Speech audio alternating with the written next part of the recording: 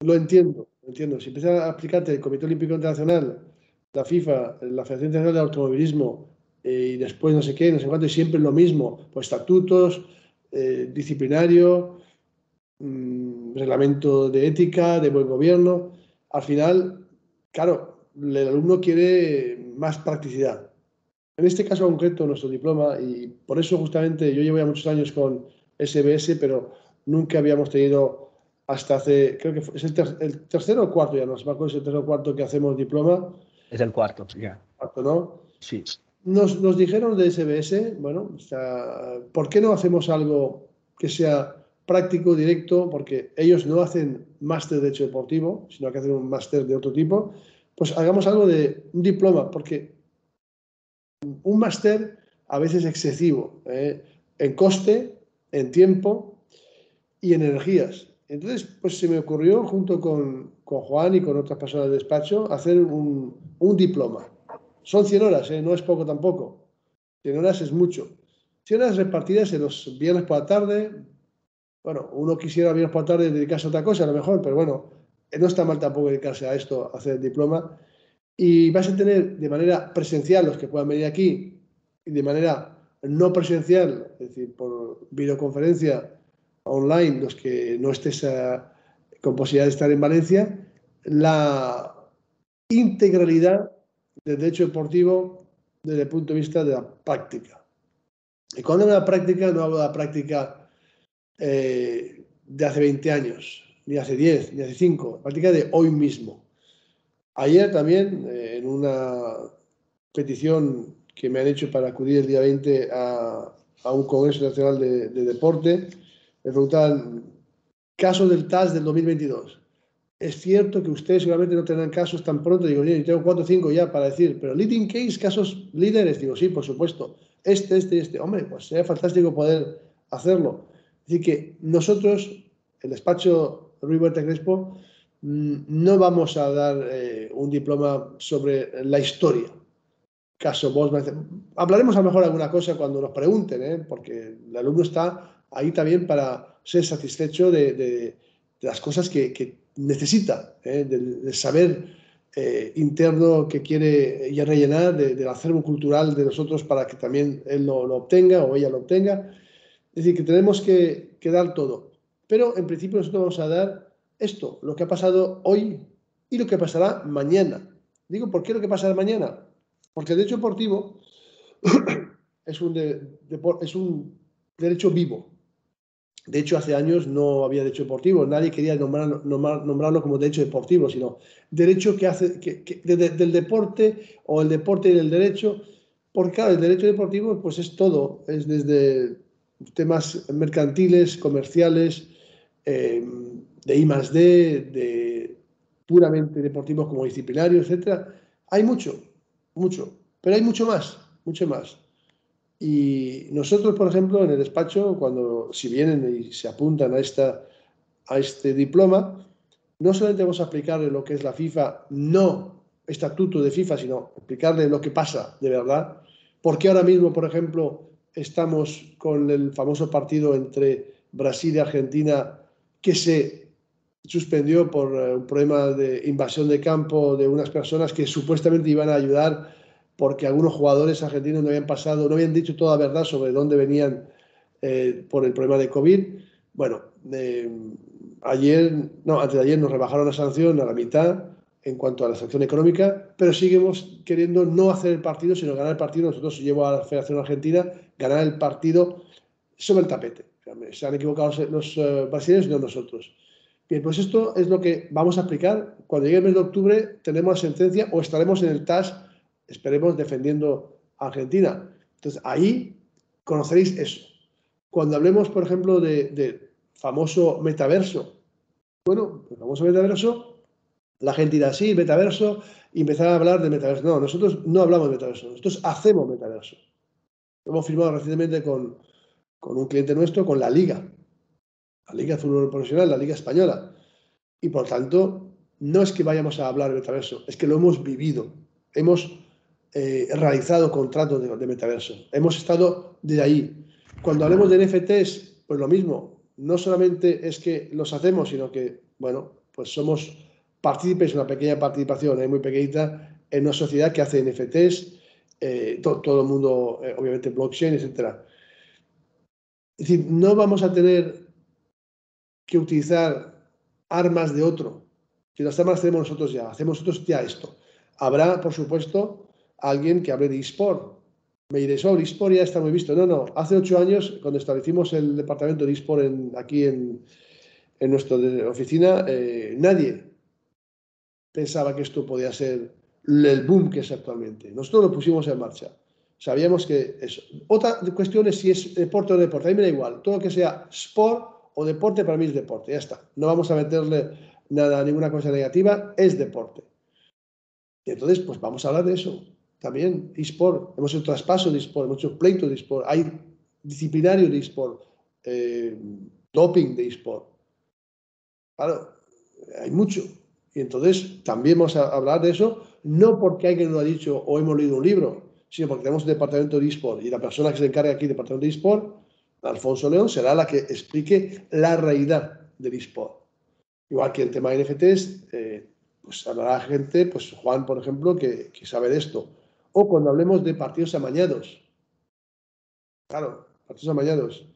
Eh, hace unos días hubo creo que 40 o 50 tenistas de varios países condenados por temas de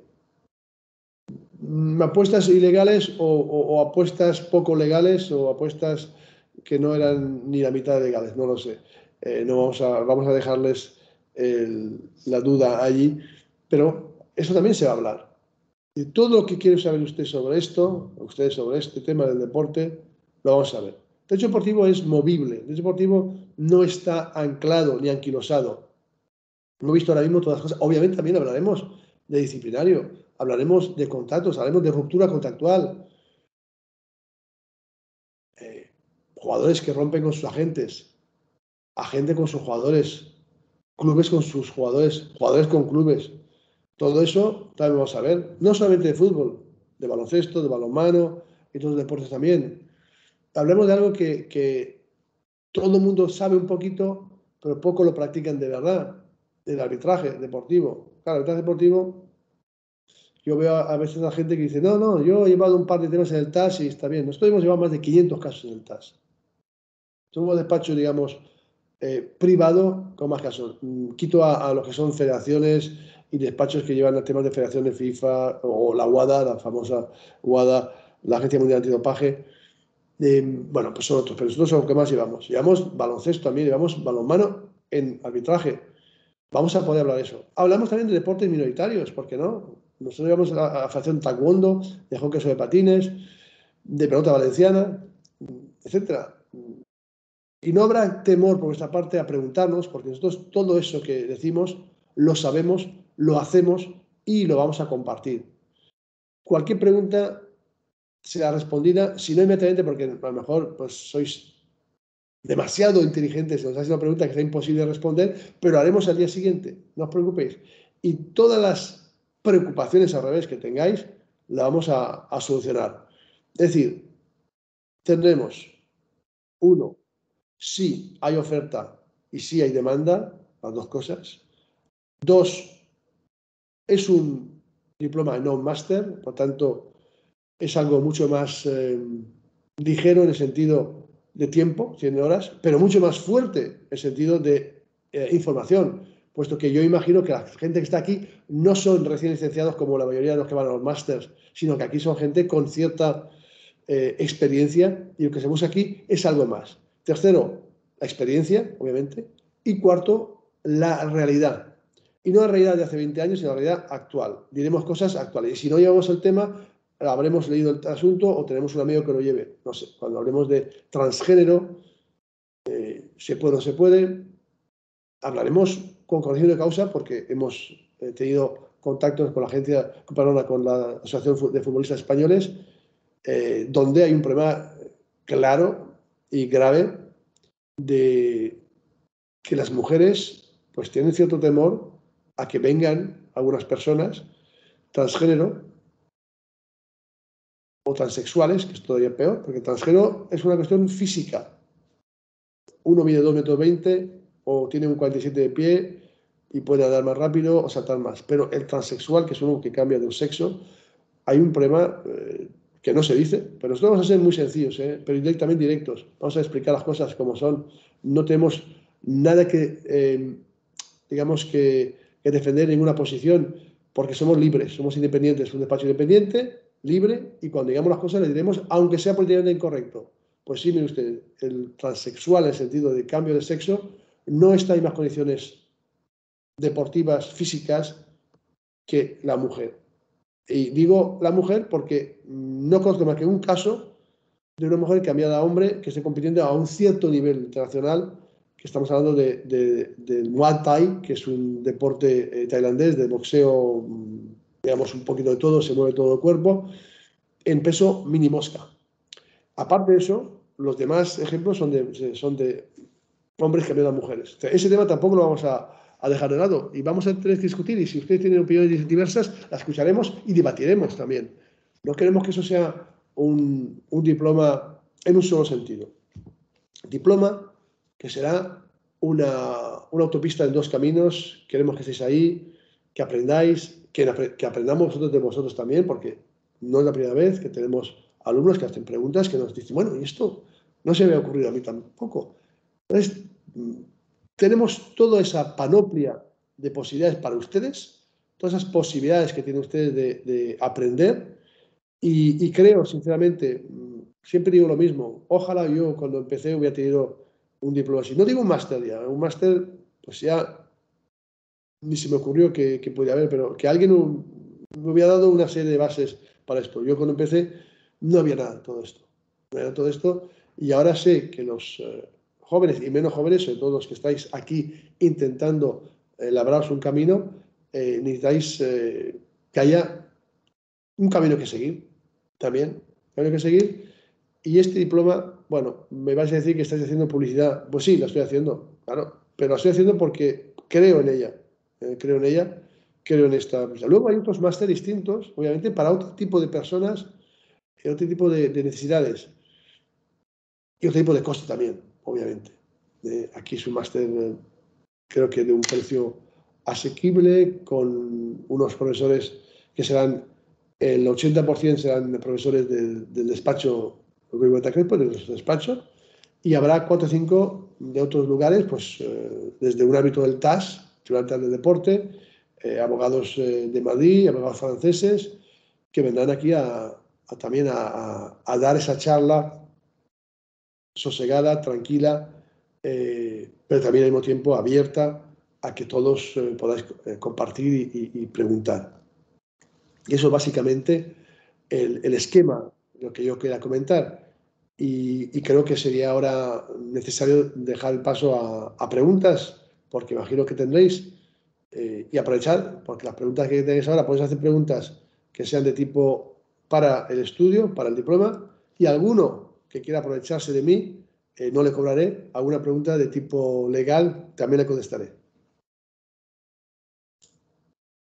Pues muchas gracias Juan por la por este por este estos insights muy valiosos que tenemos, ¿no? Empezamos ahí haciendo un pequeño resumen de lo que hablaste, hablando de la demanda y la oferta que existe en el mercado.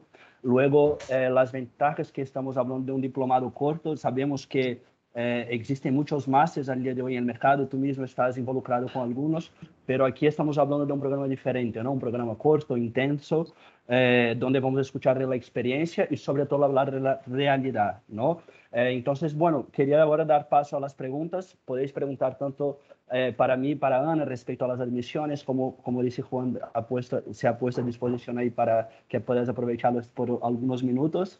Y entonces, por ahí y por orden, ¿vale? El, que quiera preguntar, por levantar la mano eh, y vamos dando paso para, para ser organizados. Alguno, alguno es un repetidor, ¿eh? porque aquí veo a Roberto, veo a Marco, no de del programa en sí, sí, algunos sí, pero, pero que los he conocido en, como alumnos. ¿eh? Muy bien. A ver. Tienes muy, buen, muy buena seguidores, Juan de Dios. Si no te para hacer cualquier pregunta sobre el programa. Preguntad que estos momentos son los esenciales para vosotros. Preguntad a ver qué, qué tenéis en la cabecita que, que hay que que queréis que os, respondamos. Tanto del diploma, aunque yo creo que el diploma está claro y, y Caleb y Ana son más para hacerlo. Yo he explicado que era desde el punto de vista jurídico, pero también, no sé, eh, análisis del de, hecho deportivo, aparte de hecho que sí que hay oferta y demanda, ¿qué es lo que hay? Yo os he dicho tres, tres casos. Ahora mismo la FIA, la Federación Internacional de Automovilismo, pide uno de marketing derecho, eh, la UEFA y la FIFA constantemente, eh, el Comité Olímpico también. Es cierto que hace falta tener idiomas, aunque el español, afortunadamente, es un idioma eh, que es casi primordial en el derecho deportivo y sobre todo en el fútbol, hay que reconocer también el fútbol, también el TAS, el TAS de deporte, eh, pero necesitamos saber idiomas. Eso es una, una condición sine qua non para el inglés mínimo, de buen nivel, y luego ya eh, se puede algún otro añadido. Ahora mismo, por ejemplo, ayer presentamos una demanda en el TAS porque es un contrato en italiano con un equipo italiano y un, y un agente que lo quiso firmar en italiano y, el TAS se va a hacer en italiano. Pues lo haremos en italiano. A ver, preguntas. Yamila, Marco, Santiago, eh, Roberto, Renato, Miquel, Miguel, María José, Juan Felio, todos, Francisco, Fernando, David. Queremos escucharos. Si queréis, yo pregunto por vosotros. Tengo una duda. dudas, dudas, please. No, y, por, y por otro lado, me gustaría comentar también, antes, antes que, que, pases tu pregunta, eh, sobre algunos casos, porque, por ejemplo, muchos alumnos me preguntan, pero yo tengo que ser egresado de Derecho o, o por mi background no, eh, yo nunca he estudiado Derecho, entonces nos gustaría compartir casos, por ejemplo, en el curso pasado de una mamá de un atleta de fútbol que ha participado del programa, de un agente de pilotos de MotoGP, para que tener en cuenta que no hablamos solo de fútbol dentro, dentro del programa, ¿vale? Ella ha dicho que hablamos de eSport, que hablamos de, de deporte. Exacto. Esto de todo.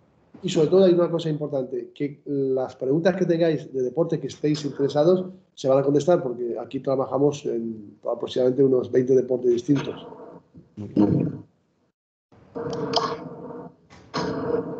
Bueno, la primera pregunta, vamos a la pregunta, vamos. Vale, a ver, un poco por, por mover. Eh, aquí, aquí veo personas que, que sé que son estudiantes, que están interesados en entrar en el mundo del deporte, que algunos son profesionales.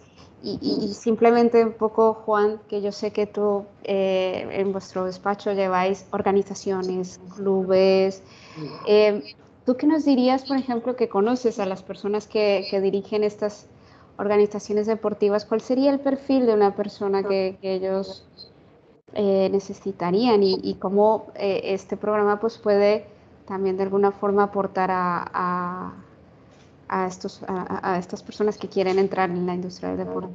Bueno, lo primero que pide la gente que está en el deporte, eh, federaciones, ligas, eh, clubes, agentes incluso que quieren tener, o incluso los jugadores que quieren tener a, agentes o a personas cercanas a ellos, quieren que haya pasión, que sean apasionados, que no sea un trabajo eh, de 9 to 5.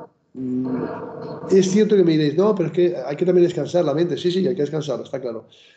Pero hay momentos que se puede descansar. Se puede descansar desde las 10 hasta las 4 y después trabajar de las 12 de la noche. Es que hay una pasión que permita que, que cuando se pregunte o se pida algo, enseguida se pueda responder. Es lo que se busca eh, en esos, y, también en un despacho de abogados, eh, la pasión. Apasionado por el deporte. Si es apasionado por el derecho, más todavía, pero por el deporte sobre todo. Es lo que buscan las entidades estas. Luego es que sean, eh, vamos a decir una cosa, es obvia, pero trabajadores. Sí, parece que es obvio, pero, pero no todo el mundo hace, y eso tiene que ver también con lo de la, la, pasión, el 9 to 5.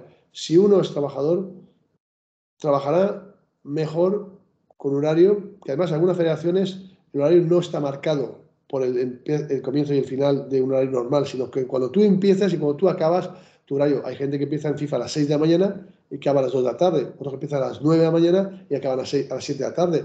Eh, depende.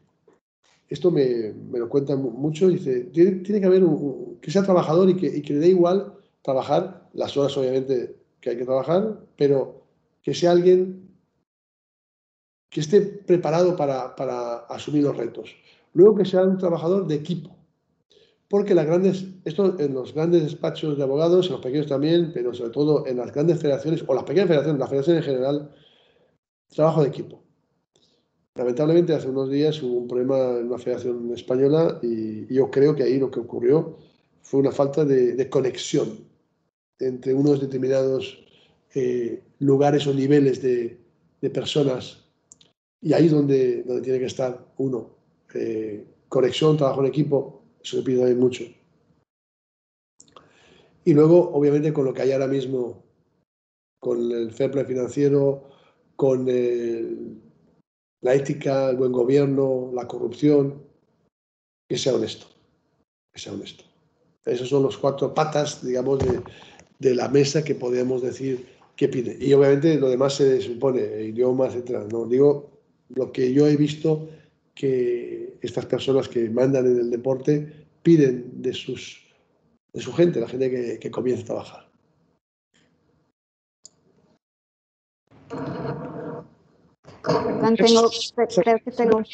Ana, que se atreva alguien más. Esto, las primeras preguntas son las complicadas, pero ya has hecho la primera. Mira, tenemos a Roberto Porteos, que está aquí con nosotros y bueno, él fue alumno en el 2020, si puedes ponerte Roberto, y dice que, que, bueno, que le encantó la experiencia y que aquí está para no, perder, no perderse la oportunidad de, de escucharte. Bueno, Roberto, es que eres un clásico ya, ¿eh? No sé, ya te he visto en tantos sitios. Eres un seguidor acérrimo. Sí, sí, sí, sí, sí. Luego hay una pregunta de Miquel Vázquez que dice, ¿cuáles son los retos para la en europeos para hacer deportivo en España? Bueno, en Europa. Bueno, es una pregunta muy interesante, muy interesante. Y hoy mismo estaba hablando con unos eh, chicos mexicanos y me decían, no tenemos la, capacidad para ser abogados en España. Entonces, ¿qué hacemos? Si hay algún despacho español que ah, está con nosotros, pues mire, es que hay dos despachos distintos. Está el despacho típicamente interno español, que tendrá temas españoles, y el despacho como el nuestro, internacional. El 90% de los casos que tenemos son internacionales. No hace falta ser abogado colegiado en España o en Italia o en Francia para ejercer el derecho deportivo eh, dentro de las federaciones, las confederaciones, en el Tribunal Arbitral de Deporte, en el Tribunal eh, de Baloncesto. No hace falta. No hace falta. Por tanto, hay una, una facilidad eh, dentro del mundo del deporte que no se tiene en otros sitios. Cuando uno es, es abogado de, civilista va a un pleito en París, pues tiene que ser abogado parisino, o, o, por lo menos, bueno, parisino o francés. pero el deporte no. Si uno tiene un procedimiento en la FIA, la Federación Internacional de Automovilismo en París, no hace falta ser abogado francés. Igual que si tiene uno un pleito en la World Athletic en Mónaco, el, atletismo, pues tampoco hace falta, etcétera. Entonces, es un, es un plus, es un plus para, para vosotros, Miquel. Y luego tengo a Juan Guillermo, que nos dice, a ver, ¿cuáles son las bueno, vamos a ver, Juan Guillermo, el, tema es, el siguiente. A veces te especializan sin querer. Tú te especializas porque tienes un caso, luego otro, luego otro, y, ya está. Nosotros, por ejemplo, tenemos una especialidad que es eh, el derecho deportivo internacional. ¿Cómo es eso? Primero, porque hablamos idiomas. Segundo, porque hemos tenido éxito en algunos temas internacionales y la gente va a seguir llamando si a, lo mejor tienes un éxito en, dopaje, pues la, gente seguirá llamándote en dopaje y te vas a especializar en todo dopaje sin quererlo también.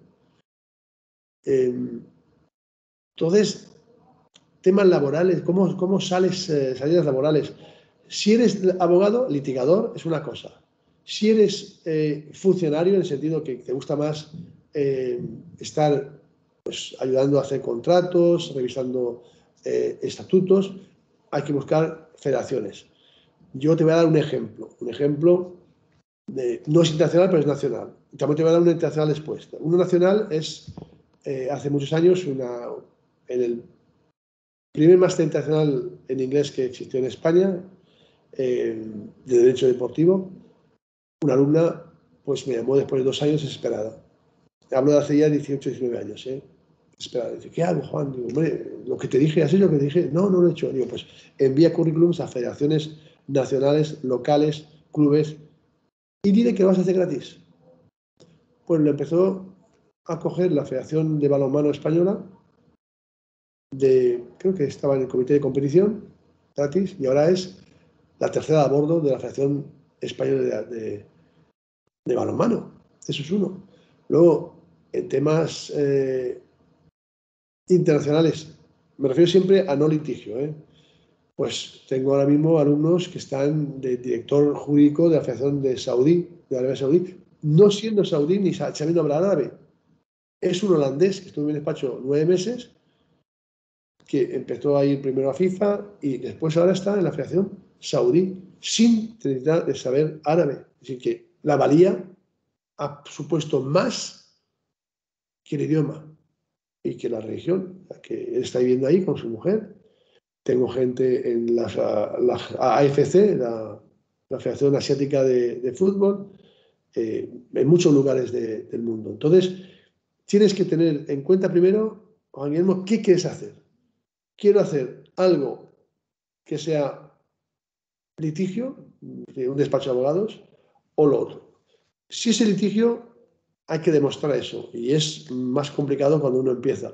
Entonces yo siempre recomiendo, a no ser que uno sea litigante de cabeza y, que, diga sí, quiero, quiero, quiero, quiero, insista, he tenido algunos y están en mi despacho algunos, o yo prefiero empezar desde otro punto de vista, entonces recomiendo que se, que se vaya pues, a los grandes organismos internacionales, grandes, medianos o pequeños, que hay muchos. ¿eh? La Federación Internacional de, Tenis de Mesa, por ejemplo, otro día pedí a alguien.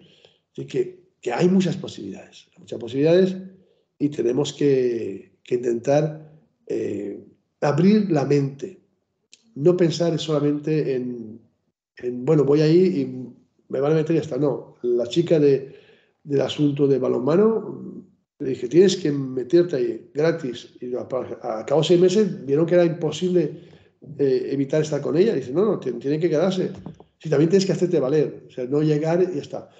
en este despacho eh, hubo un pasante recién que, estuvo, bueno, de un, de un máster X, de un máster X, y, y, casualmente me llama por teléfono el presidente de un, de un club de división y dice, se me ha ido la, la, abogada, ¿qué hago?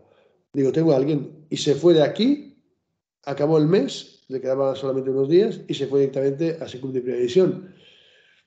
No es eh, litigio, Tampoco es un organismo internacional, pero es un, club de fútbol eh, de primera división en España. Así que tienes muchas salidas laborales. Lo que está claro, lo que está claro es que si no aprietas tú un poquito, si no pones tu parte, si no eh, estás em, indagando constantemente, yo recomiendo varias cosas para eso. Uno, publicaciones, pero no las fotos de Instagram, ¿eh? no, no. Esto ya es para cuando uno sea mayor el despacho mío tiene foto de Instagram que hace mi esposa, que es la parte Ruiz Huerta de Huerta Crespo, y eso se puede hacer. Pero cuando uno empieza a eh, escribir, escribir. El otro día, el lunes, estuve en una presentación de una revista, Rondo, una revista de fútbol muy intelectual, y, estaba uno de los grandes del fútbol español, Vicente del Bosque. Vicente del Bosque, campeón del mundo, una, figura. Y, claro, digo, no lo conozco personalmente, me gustaría que me presentaran. Entonces, uno de los organizadores dice, eh, don Vicente, ¿no? Y se acerca, me mira y dice, Juan de Dios, hombre, ¿qué tal? Yo no conocía nada, dice, te leo en el marca, te leo en el marca, textualmente. Bueno, fue uno de los momentos más, eh, desde el punto de vista profesional, no litigante, que más me ha impactado, porque me lee en el marca. Eso que yo digo a todo el mundo que escriba, me lo, ha visto, me lo he visto reflejado ahora. Hay que escribir. No solamente en el marca, obviamente, eh, sino en revistas especializadas. O, ahora que es fácil, escribir en, webs de derecho deportivo. En España tenemos una de las mejores del mundo, USport, que es extraordinaria. Eh, y hay USport Latinoamérica también, que es la misma, pero con gente de Latinoamérica. Mm, escribir, escribir, escribir. ¿eh? Y bueno, eh, pasión, ¿eh? A ver, Luis Espero haber contestado, Juan Guillermo. Luis,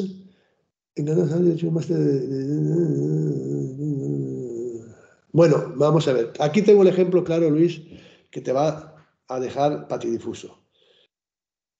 Tengo aquí un canadiense que era inspector de Hacienda. Inspector de Hacienda, siete años en Canadá, después tuvo siete años como, como abogado eh, de impuestos en Canadá, y un día dijo, lo dejo, lo dejo, me voy a hacer un máster de Derecho Deportivo Internacional. Y lo hizo en Nueva York, fue alumno mío, y ahora lleva ya ocho años conmigo en el despacho. Es decir, tienes que hacer algo. Yo, Luis, lo que intentaría hacer ahora para no gastarte mucho dinero y para saber si de verdad te gusta el derecho deportivo, es hacer este diploma. Y octubre a enero, ves cómo te funciona, ves si está bien y si no, el siguiente paso sí que sería hacer un máster. ¿Por qué? Porque eh, una vez has alcanzado eh, un cierto nivel, la gente te va a, pedir más. Un máster, ya, quiero saber esto, que usted ha hecho este máster, no ha hecho el otro. Yo creo que hay que pasar. Pero antes de pasar hay que intentar, intentar eh, hacer un, conocimiento de lo que es el derecho deportivo llano, sucinto, 100 horas para tenerlo. Pero el caso tuyo es un caso de, película, porque me ha pasado a mí con este, eh, bueno, ya no es un chico, ya es un señor, que está ocho años conmigo y que estuvo 14 años trabajando en fiscalidad de inspector de Hacienda y de, mm, y de abogado. Eh, bueno, como ves, desde los impuestos se puede llegar a todos sitios. Y además un tema interesante los impuestos. Interesante porque los deportistas de todo tipo, ¿eh? no solo futbolistas, de todo tipo, tienen problemas impositivos, muchos, muchos. Y hay muchos abogados de, de, impuestos, de tax, que se han metido en el mundo del deportivo gracias a eso. Pero ojo, segundo punto de eso, cuidado con lo que se, se digamos, eh, se intenta hacer, porque hemos visto mucho en temas de derecho de imagen que los deportistas han caído, lamentablemente, porque el que no sea, no esté prohibido no significa que sea legal. Esto tengo clarísimo yo. Yo intento siempre ir en litigio por todos lados, pero en impuestos yo, esto es complicado, ¿eh? es complicado el tema de impositivo, pero bueno, hay posibilidades ahí, hay posibilidades ahí. ¿eh? Eh, a ver, Luis, entonces te he contestado ya, Luis, ¿está claro? A ver, Francisco. Mm, ¿De Argentina? Sí, absolutamente. Absolutamente. Ahora bien, ahora bien, Francisco, yo lo que aconsejo ¿eh? es ser abogado primero. Ser abogado me refiero a, tener una cierta experiencia. Eh, hay, en mi despacho hay gente que tiene, como yo hace un momento, 14 años de experiencia antes de venir aquí, y otros que llegaron aquí directamente del máster, de haber hecho después una pasantía en, otro despacho y venir aquí. Se puede, se puede, pero hay que ser muy, muy eh, estudioso, apasionado para conseguir eso. Porque las eh, trampas que existen en eh, el derecho deportivo, sin conocer la justicia ordinaria, pues, por ejemplo, contratos, obviamente. oye, y si has estudiado en la facultad está bien, no, pero yo pasaría, pasaría dos, tres meses, julio, agosto, ya sé que son vacaciones, pero lo intentaría, aunque en Argentina no son vacaciones ahora, julio, agosto se puede ir, en un despacho para ver unas cuantas cosas, para intentar conocer el derecho por dentro. Un mínimo, un mínimo. Esa es mi, mi impresión. A ver, y a Mila, Sí, eh, ¿eh?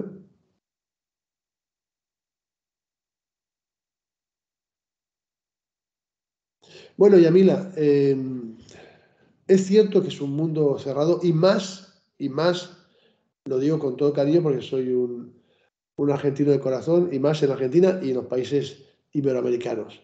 ¿Por qué? Pues porque no hay tanto trabajo como aquí, como en Europa, y sobre todo el europeo eh, suele hablar, como el caso mío, cuatro idiomas, el caso de mi hijo, siete idiomas, etc.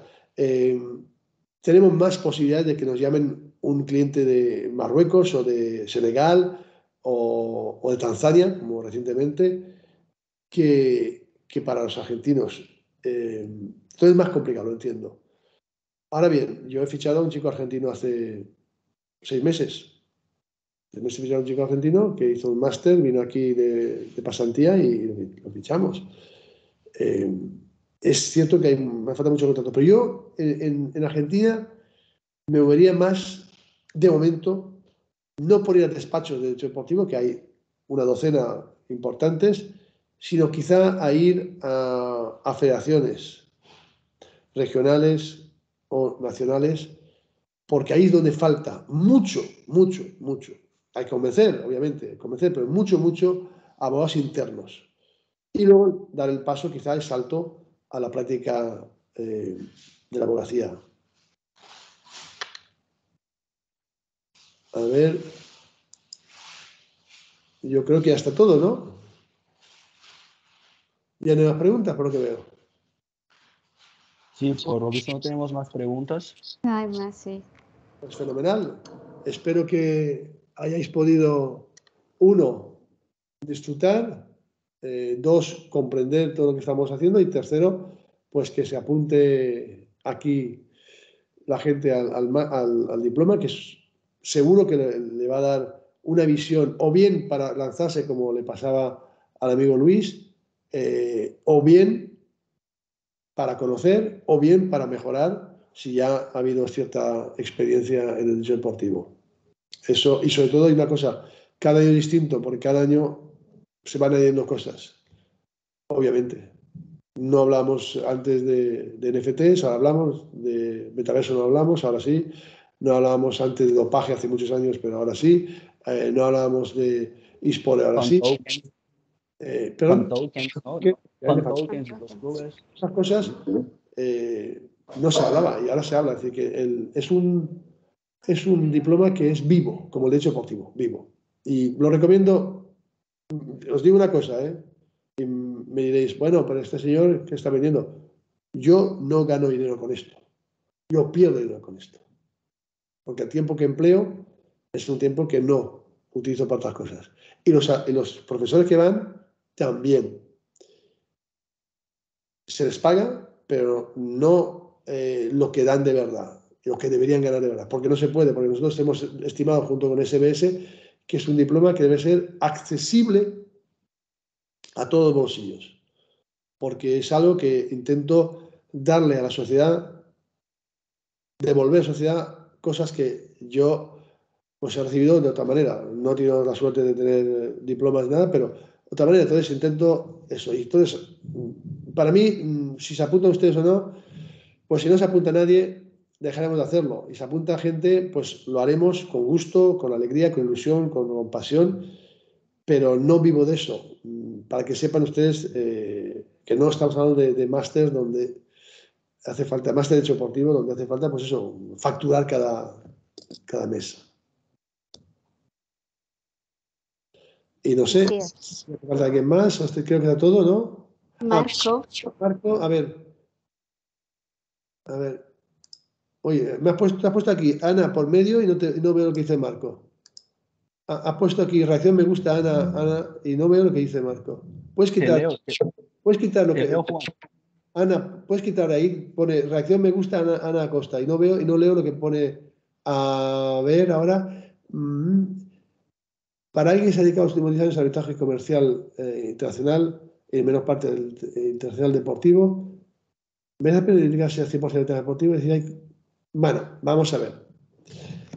Eh, Marcos, una pregunta extraordinaria. Hay gente que solo se dedica al arbitraje. Tengo un amigo que es americano franco-español, que vive en, Madrid, que fue árbitro del TAS y que no lo es ahora, pero es árbitro del BAT, por ejemplo, eh, está en la FIFA como también miembro del Tribunal de Fútbol y que hace temas de derecho internacional y derecho deportivo, las dos cosas.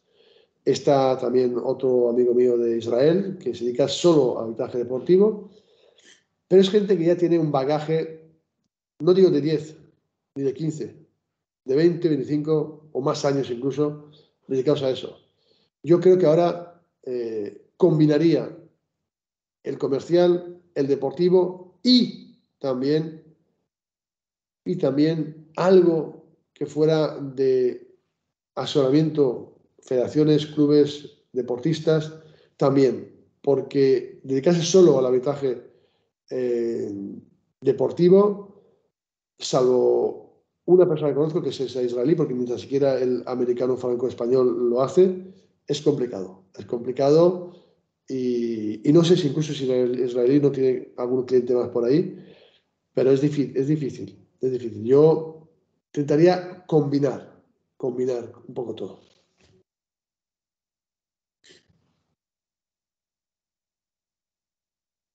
Gracias a vosotros. Bueno, eh, pensábamos estar 40 minutos, estamos ya casi, casi una hora. Así que unas últimas dos preguntas, una o dos, si queréis. ¿O está todo claro ya? Se ha ido mucha gente de todas maneras. ¿eh? Se ha ido gente. A ver, Santiago. ¿Cuántos somos ahora? Santiago. Ah, Sport Management. Eh, digo bueno, soy periodista. Ah, periodista. Es que no veo lo que dice porque tengo ahí a Ana con una cosita que pone Ana Costa. Reacción me gusta, eh, que no puedo quitarlo. Te lo puedo decir directamente yo, Juan. A ver, dímelo. Ah, soy periodista, me gusta saber si desde esta prima se puede hacer tanto en su despacho como cualquier, y ahí ya no veo nada. Ah, lo siguiente, simplemente, eh, este diploma me dará una visión más amplia sobre lo que quiero, lo que quiero seguir yo siendo como profesional. Sí, hombre, claro, no, yo estoy abierto siempre a, todo el mundo para hablar y para comentar. Eh, no, hay, no hay ningún problema. ¿eh? Yo, si, no, si no estoy fuera de España, o fuera del, despacho, mejor dicho, pues estoy aquí para poder contestar a, todas las preguntas y, ayudar a quien pueda ayudar, obviamente. ¿eh? No hay ningún problema, Santiago, lo que tú quieras.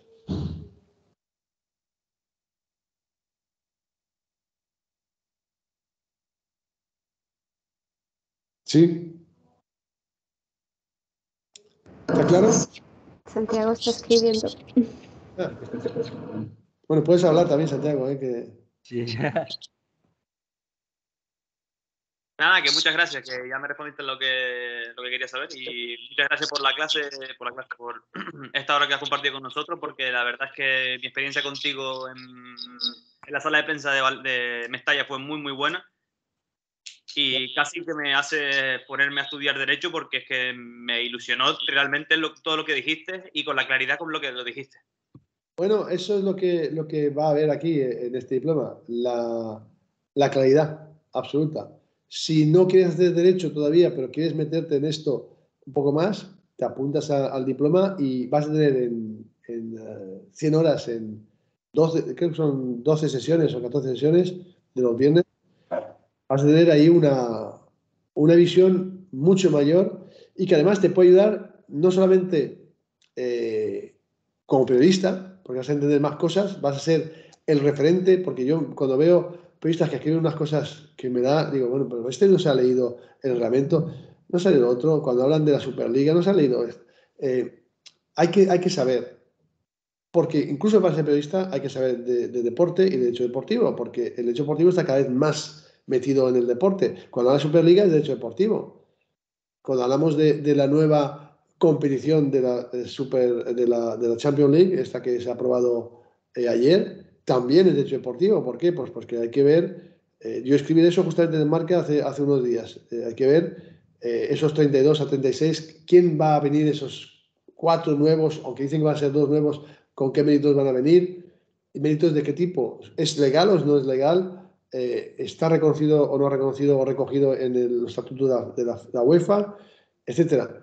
Todo eso da un plus al periodista para cuando hable con, el, jefe del periódico, el director del periódico, diga, mira, yo sé esto, esto, esto, y te voy a decir esto, esto, esto. Claro, es, una, un añadido más, ¿eh? un añadido más para, para obtener mejores posiciones eh, como periodista, incluso aunque no sea abogado de derecho deportivo, como periodista, conocer el derecho deportivo. Sí, de hecho, Santiago, tuvimos a un, bueno, hemos tenido a exalumnos del máster, o al contrario, que, que, hacen el programa de Derecho, y, y, sirve como, como, bueno, Juan de Dios ha, dicho antes, pues también una red de contactos.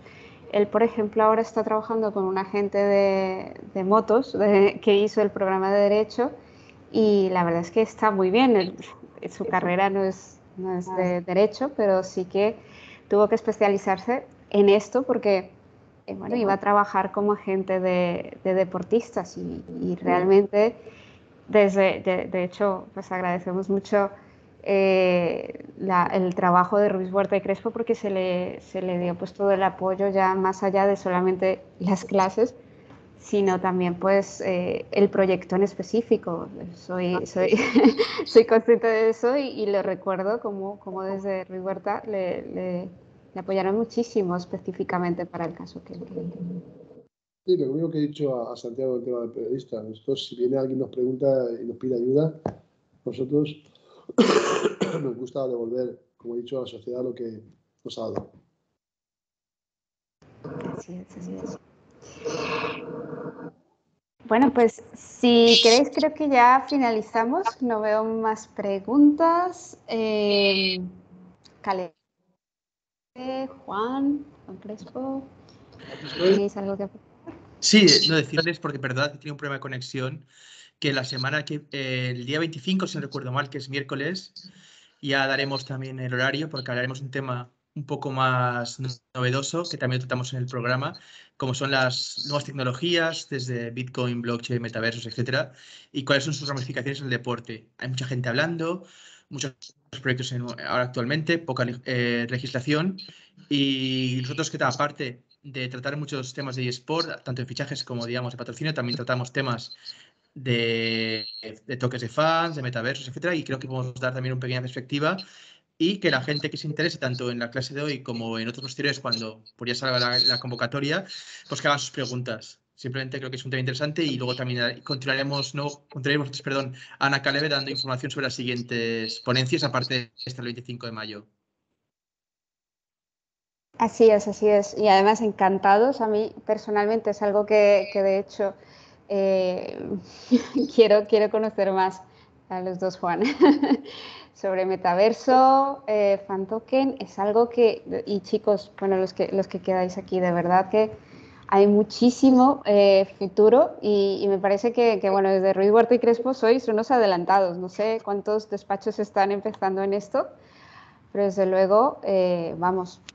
Ser los aventureros, eh, los Cristóbal Colón, los Marco Polo, porque nosotros fuimos en los primeros despachos que demandó la FIFA en, un juzgado ordinario, cuando nadie lo hacía porque todo estaba preocupado hemos hecho muchísimas cosas mm, los primeros y, esto es, igual.